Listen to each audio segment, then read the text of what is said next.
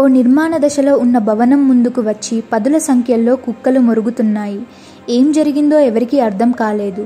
ఆ ఇంటి యజమాని అనుమానాస్పదంగా లోపలికి వెళ్ళి చూడగా అనుకోని అతిథి కనిపించింది. అదేంటో కాదండోయ్ ఎలుగుబంటి.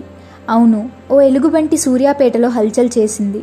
డీమార్ట్ వెనకాల నిర్మాణంలో ఉన్న భవనంలోకి రాత్రి ప్రవేశించింది.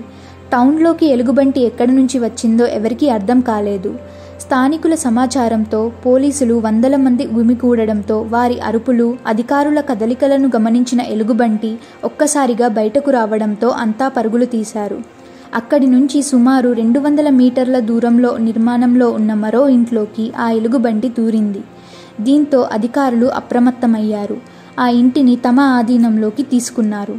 అనంతరం సుమారు ఆరు గంటలు శ్రమించిన రెస్క్యూ టీం వలలతో బంధించి మత్తు ఇంజెక్షన్లు ఇచ్చి ఫారెస్ట్ వాహనంలోకి ఎక్కించారు.